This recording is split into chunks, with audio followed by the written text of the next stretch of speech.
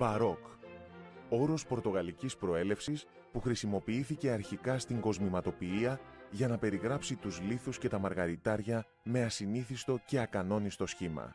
Κατόπιν, ο όρος χρησιμοποιήθηκε για να περιγράψει την τεχνοτροπία που χαρακτηρίζεται από τον φορτικό διάκοσμο, τις έντονες αντιθέσεις, την πολυτέλεια, το επιδεικτικό και πομπόδες ύφος και τις παράτολμες επινοήσεις.